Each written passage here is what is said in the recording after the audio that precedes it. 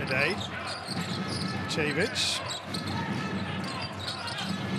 Saw and just muscles his way to the bucket and hammers it home.